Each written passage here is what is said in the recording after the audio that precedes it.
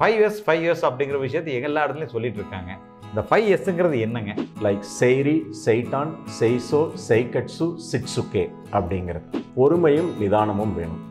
இதில் யாரையும் பனிஷ் பண்ணக்கூடாது தவறு செய்கிறாங்கன்னு ஒரு பாசிட்டிவ் ஆட்டிடியூடோடு தான் இதை கொண்டு போகணும். அதாவது எதை அடிக்கடி யூஸ் பண்ணுவியோ அதை பக்கத்தில் வச்சுக்க. எது எப்போவாவது ஒரு தடவை தேவைப்படுமோ அதை தூரமாக வச்சுக்க. இப்போ ஒரு உதாரணத்துக்கு ஃபைவ் இயர்ஸுங்கிறது நம்ம நாட்டில் வழக்கத்தில் இருக்கா? எல்லா நிறுவனங்களையும் இதை ப்ராக்டிஸ் பண்ணிட்டு இருக்கிறாங்களா? பயிற்சிக்கு வந்திருக்கிறவங்கள பார்த்து கேட்கும்போது பிசைஞ்சு சாப்பிட ஆரம்பிச்சிருவோம். இல்லை தனியாக ஒரு போர்ஷன் சாம்பாருக்கு ஒதுக்கி வைப்போம். இந்த மாதிரிலாம் நிறைய பதில் வரும். திரும்பி நல்லா யோசிச்சு பாருங்க. அந்த சாம்பாரையும் சாதத்தையும் பிசையும் போது நீங்கள் ஒரு வேலை செய்வீங்க. நல்லா யோசிச்சு பார்த்து சொல்லுங்க அப்படின்னா ஓகே இப்போ அஞ்சு முப்பத்தஞ்சுலேருந்து அஞ்சு நாற்பது வரைக்கும் நான் தேட போகிறேன் அப்படின்னு சொல்லிட்டு யாரும் டைம் வச்சுக்கிறது இல்லை ஒரு வேலை செய்யும்போது திடீர்னு ஒரு ஸ்டேப்பிள் பண்ணணும் ரெண்டு பேப்பரை ஸ்டேப்லர் எங்கே? அப்படின்னு தேடுவோம். அஞ்சாவது எஸ் தான் ரொம்ப முக்கியம். ட்ரைனிங் அண்ட் டிசிப்ளின் அதோட மீனிங் என்னன்னா எல்லாருக்கும் பயிற்சி கொடுங்க. ஏன்னா இப்போ நீங்கள் குப்பையை குப்பை தொட்டியில் தான் போடணும்னு சொல்லலாம். ஆனால் அதுக்கு குப்பை தொட்டி வைக்கணும். அது எந்த டிபார்ட்மெண்ட் நல்லா பண்ணி இப்போ பெரிய நிறுவனமாக இருந்தால் எந்த டிபார்ட்மெண்ட் நல்லா ப்ராக்டிஸ் பண்ணியிருக்கு நல்லா ஸ்கோர் வாங்கியிருக்கு அவங்களுக்கு ரிவார்ட் பண்ணுறது இந்த மாதிரி நிறைய விஷயங்கள் பண்ணிகிட்ருக்கோங்க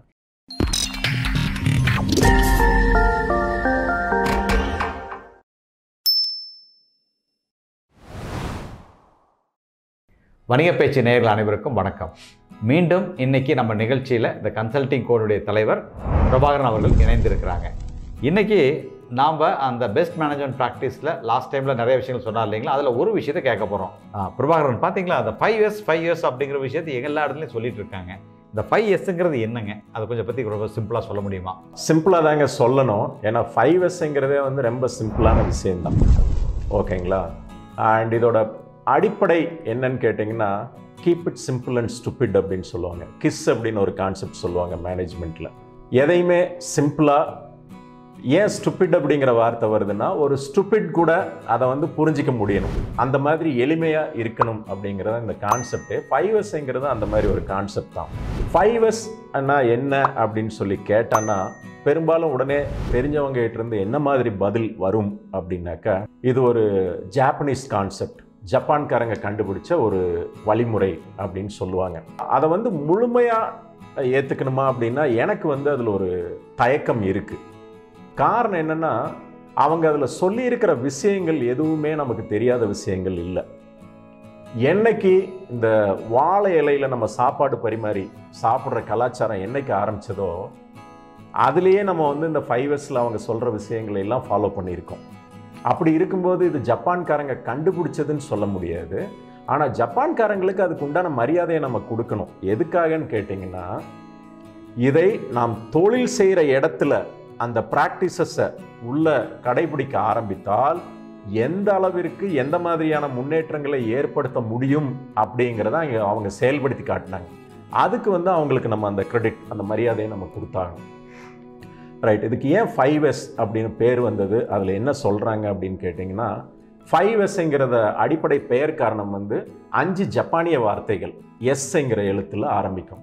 லைக் செய்ரி செய்டான் செய்சோ செய்கட்சு சிட்சுகே அப்படிங்கிறது. என்னடா ஜப்பான் மொழியெல்லாம் பேசிகிட்டு இருக்காங்க? நமக்கு இது புரியுமா அப்படின்லாம் யோசிக்க வேண்டாம். இதில் என்னென்னா நான் இதெல்லாம் என்ன இதோட அர்த்தங்கள் என்னன்னு சொல்கிறதுக்கு முன்னாடி நான் முதல்ல சொன்னேன் இல்லைங்களா வாழை இலையில் சாப்பாடு பரிமாறி சாப்பிட்றதுன்னு சொல்லிட்டு. அதில் இப்போ வந்து நம்ம இலை போட்டோன்னே நம்ம என்ன பண்ணுறோம் அதில் வந்து தண்ணி தெளித்து இலையை துடைக்கிறோம். இல்லைங்களா? அடுத்து நம்ம அந்த தண்ணி குடிக்கிற டம்ளரில் தண்ணி ஊற்ற அஃப்கோர்ஸ் இன்றைக்கி வந்து நிறைய பாட்டில்லாம் வைக்க ஆரம்பிச்சிட்டாங்க. பட் முதல்ல த தண்ணி ஊற்றுற டம்ளர் வைக்கும்போது டம்ளர் வந்து இடதுகை பக்கம் வைப்பாங்க. அது என்ன ஏதாவது வாஸ்து அந்த மாதிரி காரணங்களால இல்லை ஏதாவது பழக்கம் இருக்குங்களா? என்னென்னா வலது கை வந்து சாப்பாட்டை வந்து வாய்க்கு எடுத்து கொண்டு போய் சேர்க்குற விஷயத்தில் பிஸியாக இருக்கும். அதனால் இடது கை ஃப்ரீயாக இருக்கும். அந்த டம்ளரை எடுத்து குடிக்க முடியும். ஸோ இடது கைக்கு அருகாமையில் அந்த டம்ளர் இருந்தால் வசதியாக இருக்கும். அதனால தான் அதை இடது கை பக்கம் வைக்கிறாங்க. இப்போது நம்ம ஒரு மதிய சாப்பாட்டுக்கு உட்காந்துருக்கோம் அப்படின்னு அசியூம் பண்ணிக்கோங்க. ஒரு கல்யாண விருந்துலையோ ஒரு விழாவிலையோ. அப்போது முதல்ல இந்த உப்பு ஊறுகாய் இந்த மாதிரி விஷயங்கள்லாம் நமக்கு பரிமாறப்படும். அது எங்கே வைக்கிறாங்க? இலையில் அந்த பக்கமாக தள்ளி நம்ம இருந்து தள்ளி அந்த பக்கமாக ஆப்போசிட் சைடில் பரிமாறுறாங்க. அடுத்து சாப்பாடு ரைஸ் அப்படின்னு வரும்போது அதை நடுவில் இலையோட மிடில் போர்ஷனில் சர்வ் பண்ணுறாங்க பண்ணிவிட்டு அதுக்கப்புறம் வந்து இப்போ முதல்ல சாம்பார் அப்படின்னு ஆரம்பிக்கிறோன்னு வச்சுக்கோங்க. சாம்பார் ஊற்றுறாங்க இப்போது ஏன் இந்த உப்பு ஊறுகாயை அந்த பக்கம் தள்ளி வைக்கணும்? ஏன் சாப்பாடை நடுவில் வைக்கணும்? மாற்றி வச்சா நம்ம சாப்பிட மாட்டோமா? அதெல்லாம் கிடையாது. இதில் எகைன் வந்து ஒரு லாஜிக் தான். என்னன்னா உப்பு ஊறுகாய் அப்படிங்கிறது வந்து அடிக்கடி பயன்படுத்தும் பொருள் அல்ல. தேவைப்படும் பொழுது எப்போவோ ஒரு முறை சாப்பாட்டில் கலந்துக்கிறதுக்காக நம்ம எடுத்துக்கிற விஷயம். சாப்பாடு அப்படிங்கிறது வந்து நம்ம அதிகமாக எடுத்து சாப்பிட்ற ஒரு விஷயம். அது கைக்கு பக்கத்தில் இருக்கணும் அப்படிங்கிறது. ஸோ என்னென்னா இதில் எந்த பொருளை அதிகமாக உபயோகப்படுத்துகிறோமோ அதை அருகில் வைத்துக்கொள். எந்த பொருள் எப்பொழுதாவது நமக்கு தேவைப்படுமோ அதை சற்றே தூரமாக வைத்துக்கொள் அப்படிங்கிறது தான் இதில் கான்செப்ட் அடுத்து ஒரு உதாரணத்துக்கு சாம்பார் போட்டுட்டாங்க. சாம்பார் ஊற்றினோன்னே நல்லா கவனித்து பார்த்தீங்கன்னா நம்ம ஒரு வேலை செய்வோம். என்னன்னு கேட்டான்னா நம்ம இந்த பயிற்சி வகுப்புகளெல்லாம் என்ன பண்ணுவீங்க அப்படின்னு நம்ம நேயர்களை பார்த்து கேட்கும்போது இல்லை ப பயிற்சிக்கு வந்திருக்கிறவங்கள பார்த்து கேட்கும்போது பிசைஞ்சு சாப்பிட ஆரம்பிச்சிருவோம். இல்லை தனியாக ஒரு போர்ஷன் சாம்பாருக்கு ஒதுக்கி வைப்போம். இந்த மாதிரிலாம் நிறைய பதில் வரும். திரும்பி நல்லா யோசிச்சு பாருங்க. அந்த சாம்பாரையும் சாதத்தையும் பிசையும் போது நீங்கள் ஒரு வேலை செய்வீங்க. நல்லா யோசிச்சு பார்த்து சொல்லுங்க அப்படின்னா அதில் காய்கறிகள் இந்த மாதிரி கருவேப்பிலை பச்சை மிளகாய் இந்த மாதிரிலாம் இருந்தால் அதை எடுத்து தனியாக ஓரமாக வைப்போம் அப்படின்னு ஒன்று சொல்லுவாங்க. இது வேற ஒன்றும் இல்லைங்க. நம்ம செய்கிற வேலைக்கு தேவையான பொருளை பக்கத்தில் வச்சுக்கோ வச்சுக்கோ அந்த இடத்துல. தேவையில்லாத பொருளை அந்த இடத்த விட்டு தூக்கி போட்டுரு. இதுதான். இந்த கான்செப்ட் அடுத்து என்ன பண்ணுறோம் ஓகே அடுத்து என்ன வரிசையாக வருது எல்லாம் சாப்பிட்றோம். சாப்பிட்டு முடிச்சுட்டு இலையை மூடி வச்சுட்டு எந்திரிச்சு போய் நம்ம கை கழுவிட்டு போயிடுறோம். இங்கே என்ன நடக்குது? அந்த இலை எல்லாத்தையும் சுத்தம் பண்ணி எடுத்துட்டு அந்த இடத்த துடைக்கிறாங்க.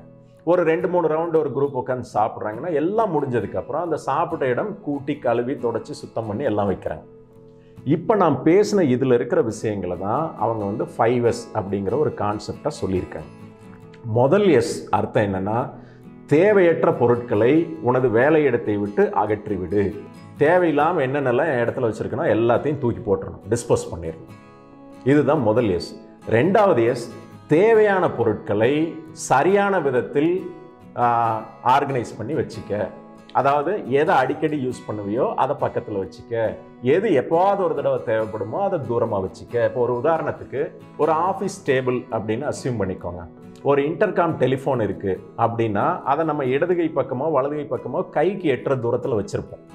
ஒரு பென்சில் ஸ்டாண்டு அப்படின்னா அதை வந்து கைக்கு எட்டி நம்ம பேனா பென்சில் எடுக்கிற தூரத்தில் வச்சுருப்போம். இப்போ ஒரு டேபிள் டாப் கேலண்டர் இருக்குன்னு வச்சுக்கோங்க. அது வந்து கைக்கு எட்டுற தூரத்தில் இருக்காது பார்வைக்கு எட்டுற தூரத்தில் இருக்கும். ஏன்னா அதை நம்ம எடுத்து உபயோகப்படுத்த போகிறதில்ல பார்க்க தான் போகிறோம் அதில் இருக்கிற இன்ஃபர்மேஷன் எப்போவோ ஒரு தடவை எடுத்து டேர்ன் பண்ணி அடுத்த மாதம் இல்லை அதுக்கு அடுத்த மாதம் ஒரு டேட் என்ன கிழமை பார்க்கணும்னா பார்க்கணும் இல்லையா? அதர்வைஸ் அது தள்ளி தான் இருக்கும். ஸோ இந்த மாதிரி நமக்கு வேலைக்கு தேவையான பொருட்களை எதை அடிக்கடி உபயோகப்படுத்துவோமோ அதை பக்கத்தில் வச்சுக்கோ மற்றதை தள்ளி வச்சுக்கோ.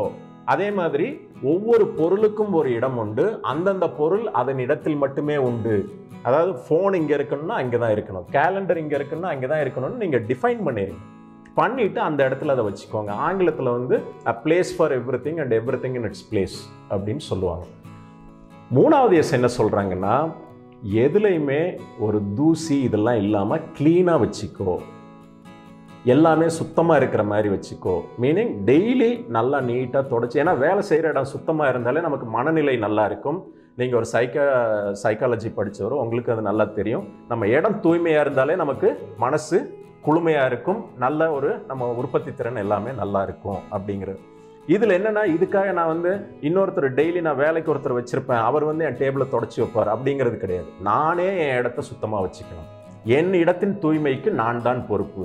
இதில் க்ளீனிங் வித் மீனிங்னு ஒன்று சொல்லுவோம். இப்போ நிறைய நேரங்களில் பார்த்துருக்கலாம். நீங்களே நம்ம வீட்டில் ஒரு பைக் வச்சுருக்கோம் இல்லை ஒரு கார் வச்சுருக்கோம். அதை நம்மளே துடைக்கும் போது அதில் இருக்கிற சில மாறுபாடுகள் எங்கேயாவது ஒரு அடி வாங்கியிருக்கோம் இல்லைன்னா சில நேரங்களில் நம்ம டயர் பஞ்சர் ஆனதையே கவனிக்காமல் நம்ம வண்டி எடுத்துகிட்டு ஓட்ட ஆரம்பிச்சிருப்போம். ரோட்டில் யாரோ பார்த்து நம்மளை சொல்லுவாங்க டயர் பஞ்சர் ஆகிருக்குங்க அப்படின்னு. இதை வந்து நம்மளே சுத்தப்படுத்தினால் நாம் அதை கண்டுபிடிக்க நமக்கு ஒரு அரிய வாய்ப்பாக இருக்கும். அதனால தான் க்ளீனிங் வித் மீனிங் அப்படிங்கிறது. நாலாவது எஸ் என்னன்னாக்கா இதை எல்லாத்தையும் ஸ்டாண்டர்டைஸ் பண்ணி வச்சுக்கோங்க. எதை எதை எப்பப்போ க்ளீன் பண்ணுறது எத்தனை நாளைக்கு ஒரு தடவை தேவையில்லாத பொருட்களை நம்ம இடத்துல இருந்து அகற்றுறது இதெல்லாம் வந்து ஒரு ஸ்டாண்டர்டைஸ் பண்ணி ஒரு டேபிளர் காலம் வச்சுக்கோங்க. இப்போ நீங்கள் ஒரு ஏர்போர்ட் இல்லை ஒரு பெரிய கம்பெனியோட டாய்லெட்ல எல்லாம் போய் பார்த்தீங்கன்னா உள்ள ஒரு சீட் ஒட்டியிருப்பாங்க. இத்தனை மணிக்கு க்ளீன் பண்ணதுன்னு போட்டு டிக் பண்ணி சைன் பண்ணியிருப்பாங்க. இதெல்லாம் வந்து ஒரு ஸ்டாண்டர்ட் ப்ராக்டிசஸ் இந்த மாதிரி ஸ்டாண்டர்டைஸ் பண்ணி வச்சு அதை ரெகுலராக ப்ராக்டிஸ் பண்ணால் உங்களுக்கு வந்து இது சஸ்டெயின் ஆகும். அஞ்சாவது எஸ் தான் ரொம்ப முக்கியம். ட்ரைனிங் அண்ட் டிசிப்ளின் அதோட மீனிங் என்னென்னா எல்லாருக்கும் பயிற்சி கொடுங்க. அந்த ஒழுக்கத்தை கொண்டு வாங்க அப்படிங்கிறதான். ஸோ ஆஸ் அ கான்செப்ட் பார்த்தீங்கன்னா இது ரொம்ப சிம்பிள் யாருக்குமே ஒரு புரியாத விஷயம் இல்லை நமக்கு தெரியாத ஒரு புது விஷயத்தை யாரும் ஒன்று சொல்லிடல.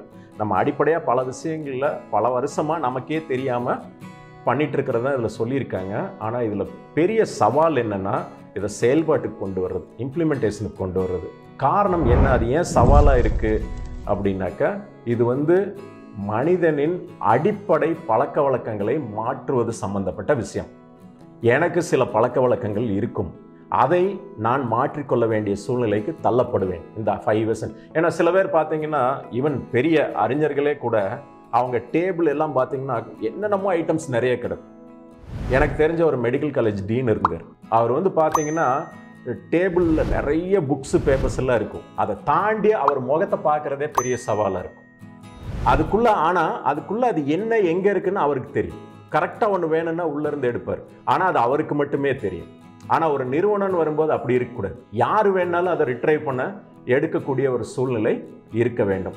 ஸோ அதனால் அந்த மாதிரி பழக்க வழக்கங்களை மனிதனின் பழக்க வழக்கங்களை மாற்றக்கூடிய ஒரு தேவை இதில் இருக்கிறதுனால இதை செயல்பாட்டுக்கு கொண்டு வர்றதுக்கு கொஞ்சம் டைம் ஆகும். அதுக்கு நிறுவனத்தில் மேனேஜ்மெண்ட்லேருந்து கீழே வரைக்கும் எல்லாருக்கும் ஒரு பெரிய பொறுமையும் நிதானமும் வேணும். இதில் யாரையும் பனிஷ் பண்ணக்கூடாது தவறு செய்கிறாங்கன்னு ஒரு பாசிட்டிவ் ஆட்டிடியூடோடு தான் இதை கொண்டு போகணும். அதுக்கு அந்த டைம் தேவை. ஸோ இப்போ இந்த ஃபைவ் இயர்ஸ்ங்கிறது நம்ம நாட்டில் வழக்கத்தில் இருக்கா? எல்லா நிறுவனங்களும் இதை ப்ராக்டிஸ் பண்ணிட்டு இருக்கிறாங்களா? எல்லா நிறுவனங்களும் இதோட முக்கியத்துவம் தெரியும். அதனால் இதை ப்ராக்டிஸ் பண்ணுறாங்க ஆனால் இன்னும் நிறைய சவால்கள் இருக்குது அதை ஒவ்வொரு நிறுவனமும் அவங்க ஓன் ஸ்டைலில் அதை ஹேண்டில் பண்ணி அந்த சவாலை சமாளித்து அதை செயல்பாட்டில் வச்சுருக்காங்க. நிறைய நல்ல நிறுவனங்கள் இதை நல்லா ப்ராக்டிஸ் பண்ணக்கூடிய நிறுவனங்கள். அதாவது அவங்க வந்து நிறுவனத்தில் மட்டும் இல்லை அந்த ஊழியர்களோட பழக்க வழக்கங்களை மாற்றி இருப்பதனால் அவங்க சொந்த வாழ்க்கையிலையும் இதை ப்ராக்டிஸ் பண்ண ஆரம்பித்து நிறுவனம் மட்டும் இல்லாமல் அவங்க வீட்லேயும் இந்த மாற்றம் கொண்டு போய் சேர்ந்து நிறைய நல்ல மாற்றங்களை அவங்க வாழ்க்கையில் ஏற்படுத்தியிருக்கு. உங்கள் கம்பெனி சார்பாக இது சார்ந்த பயிற்சிகளையும் ட்ரைனிங்களையும் நீங்கள் வழங்குறீங்களா? ஆமாங்க. இது சார்ந்த தனிப்பட்ட இப்போ ஒரு நாள் ரெண்டு நாள் பயிற்சி இது என்னென்னு பேசிக் கான்செப்ட் சொல்லி கொடுக்கறது.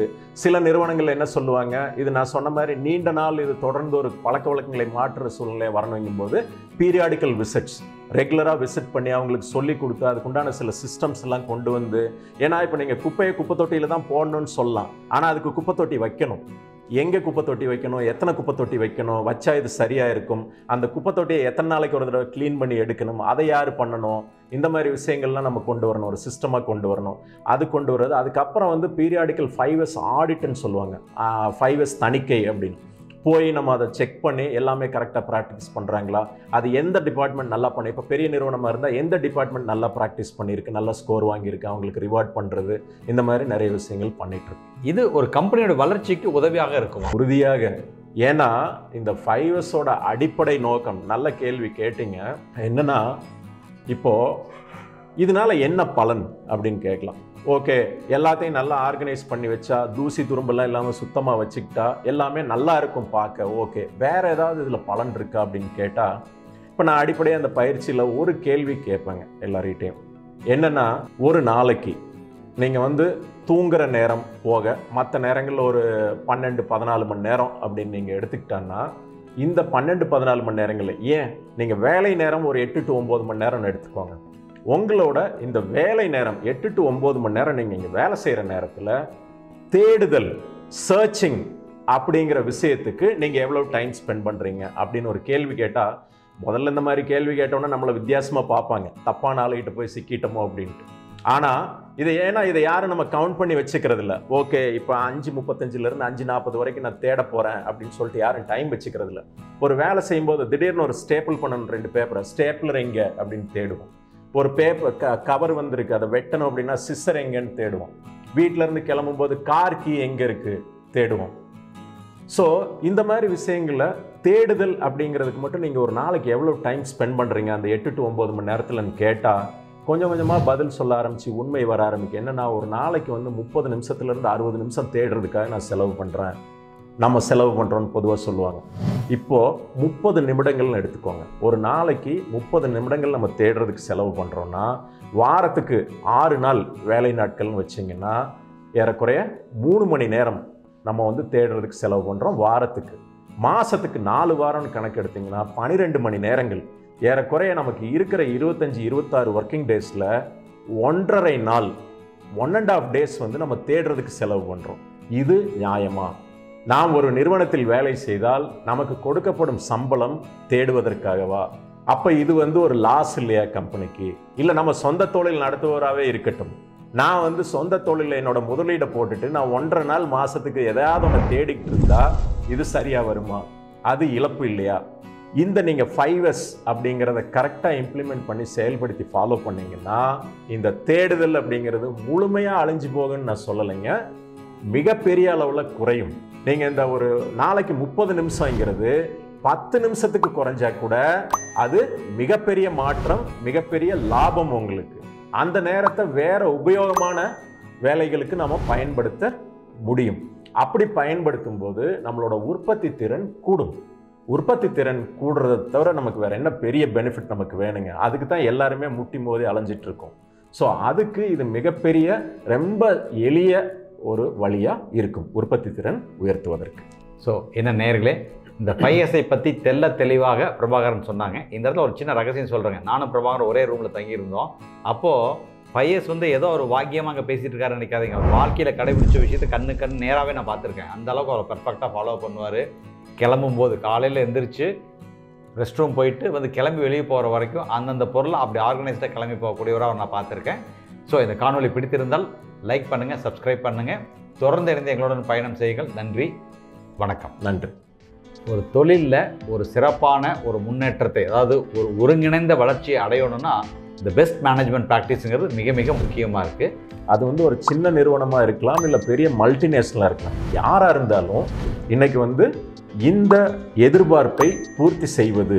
ஸோ அந்த குவாலிட்டி ப்ரைஸ் டெலிவரி அப்படிங்கிற மூணு விஷயங்கள் தான் வந்து எதிர்பார்ப்பு. நான் கஸ்டமரை டிலைட் பண்ணாதான் இந்த தொழிலில் நான் சர்வைவாக பண்ண முடியும்.